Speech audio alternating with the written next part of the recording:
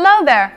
Want to change the way the mouse pointer works on your Windows 7 based PC? Let me give you the steps for it. Just follow me. Click the Start button and click Control Panel. In the search box, type mouse and then click mouse. Click the Pointer Options tab and then, to change the speed at which the mouse pointer moves, move the Select a Pointer speed slider towards slow or fast. Or, to make the pointer work more accurately when you're moving the mouse slowly, select the Enhance Pointer Precision checkbox.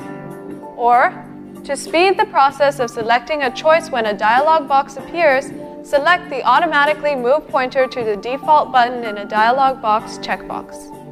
Or, to make the pointer easier to find when you move it, select the Display Pointer Trails checkbox and then move the slider towards short or long to decrease or increase the length of the pointer trail. Or, to ensure that the pointer doesn't block your view of the text you're typing, select the Hide Pointer While Typing checkbox.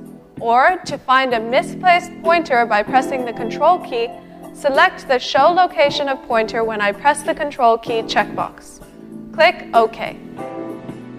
See? How simple it was. Go ahead, have fun with your PC. At any point in time, if you face issues with your PC, just call iYogi. Good karma.